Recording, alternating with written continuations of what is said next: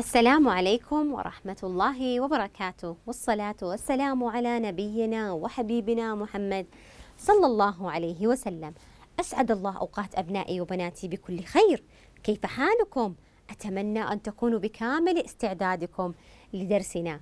إذا معكم معلمتكم منال صالح الغريب معلمة لمادة مهارات رقمية للفصل الدراسي الثاني. فأهلا وسهلا بأبنائي وبناتي طلاب الصف وطلاب وطالبات الصف الثاني متوسط.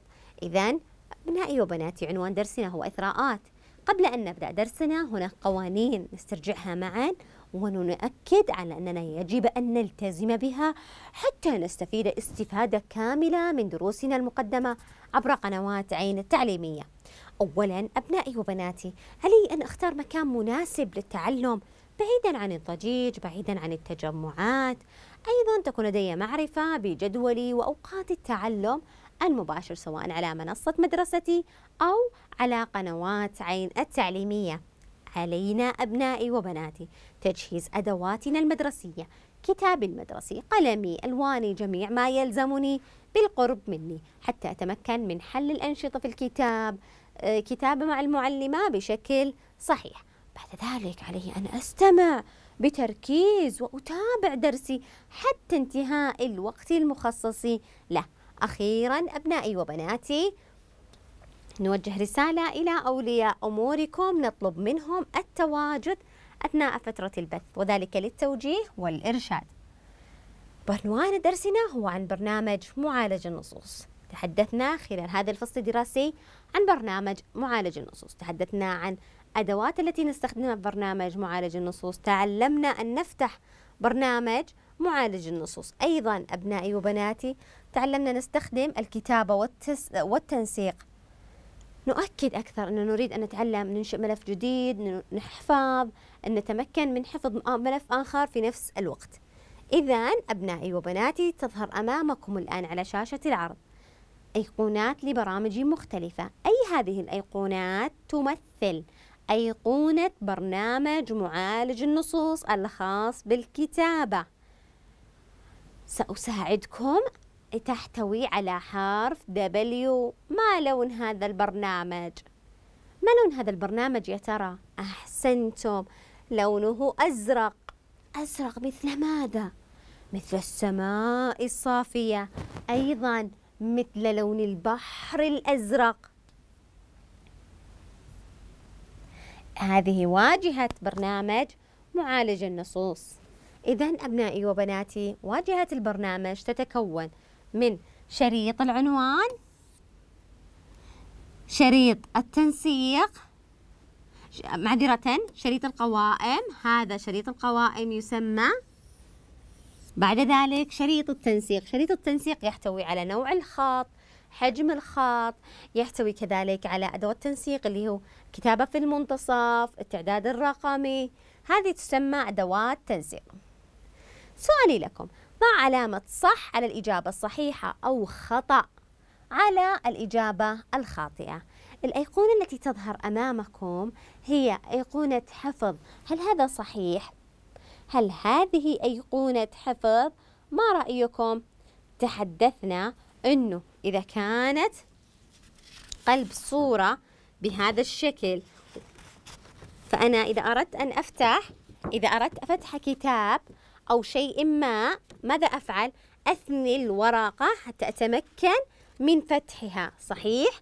إذا إذا أردت فتح درس جديد أو فتح الصفحة قلب صفحة جديدة فأنا أثني الورقة وأفتح إذا هذه الملف هذه الشكل أو هذا الشكل يعني إنه أنا أبغى أفتح شيء أنشئ شيئا جديدا أحسنتم. إذا هذه الأيقونة هل هي تعني حفظ؟ لا أبدا. هي تعني إنشاء جديد. أحسنتم. طيب أخبروني ما هو شكل أيقونة حفظ؟ إذا لم يكن هذا الشكل وهذا الشكل يعني إنشاء جديد. إذا أين أيقونة حفظ؟ قلنا أنها تشبه. ها من يتذكر تشبه الصندوق؟ داخلها مستطيل. أي هذه الأشكال أو هذه الأيقونات تدل على حفظ؟ سأضع أرقاما عليها. رقم واحد رقم اثنان رقم ثلاثة.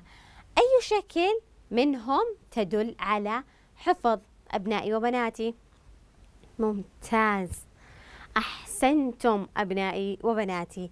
رقم اثنان. ممتاز. إذا رقم اثنان هذه الأيقونة تدل على حفظ. لاحظوا معي تشبه ماذا؟ تشبه كأنها صندوق. إذا نضع المؤشر عليها. هيا ضع الدبوس على أداة التنسيق الخاصة بالتعداد الرقمي. لاحظوا التعداد الرقمي تضع أرقام على الأسماء. أنا استخدمت هنا أي أداة؟ رقم واحد. أم رقم اثنان. أي أداة تنسيق اللي تسمى تعداد رقمي؟ واحد أبنائي وبناتي. أم اثنان. أخبروني أنتم. تعداد رقمي. إذا لازم لازم تكون الأداة تحمل أرقام. أحسنتم. رقم واحد. إذا سنضع دبوسنا هنا. والمؤشر على هذه الأداة حتى نستخدم التعداد الرقمي. تطبيق عملي. نتجه إلى قائمة ابدأ نبحث عن برنامج الوورد في قائمة برامج ابدأ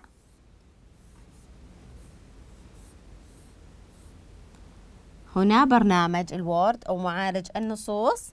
هذه واجهة البرنامج. لاحظوا معي أبنائي وبناتي يمكنني إدراج ماذا؟ أن أدرج مخطط في هذا الشكل. لاحظوا معي. ممكن أن أدرج شكل بهذا من أحد هذه الأشكال. مثلا نختار هذا الشكل موافق. أستطيع أن أختار تغيير الألوان أغير الألوان. لاحظوا معي.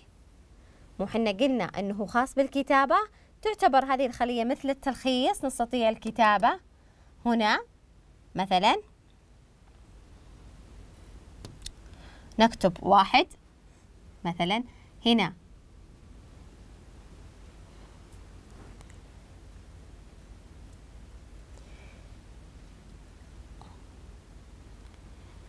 اثنين.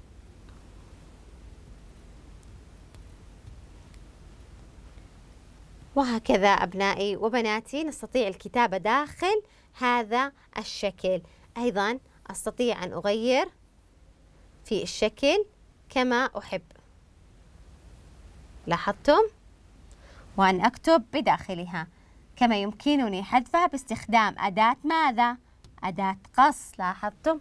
قمنا بقص الشكل إذا أختفى الشكل تماما لم يعد ظاهرا أمامي إذا طيب أريد أن أكتب مثلا اسمي تكبير حجم الخط لاحظتم هنا حرف A السهم للأعلى. السهم للأسفل يقوم بتصغير الخط للأعلى تكبير الخط. أيضا نختار نغير شكل الخط نختار اللون. الأزرق. لاحظتم معي؟ هنا نختار ملف. أريد أن أكمل عليه في وقت آخر. أختار ملف. حفظ. على سطح المكتب. ممكن أسميه باسمي منال. وحفظ. لاحظوا الآن أنا أغلق البرنامج من علامة ماذا؟ إكس أو خطأ الموجودة في الأعلى. قمت بإغلاقه. إذا أنا الآن أغلقت. لاحظوا سطح المكتب هنا سأبحث عن ملف باسمي منال. ظهر كما تم حفظه في السابق. لاحظتم كيف شكل الملف؟ ممكن أختار ملف آخر وأسميه باسم مثلا الجوهرة مثلا أو خالد. نختار حفظ باسم. دقيقة. لاحظوا الملف. أنا سأقوم بتغيير الاسم. خا لد. ملف. حفظ باسم. سطح المكتب. نختار اسم الملف هنا. خالد. حفظ. نغلق. لاحظوا الآن أصبح لدي ملفان. الملف الأول منال الملف الثاني خالد. لو فتحنا خالد نلقى موجود ماذا؟ معذرة. هذا الملف الأول منال. نغلق. الملف الثاني لاحظوا طلع لي باسم خالد وموجود اسم خالد. إذا صار عندي نسخة أخرى على نفس الملف السابق أبنائي وبناتي. وصلنا إلى نهاية درسنا. ماذا عليكم أبنائي وبناتي حتى تتمكنون من تنمية مهاراتكم على برنامج معالج النصوص؟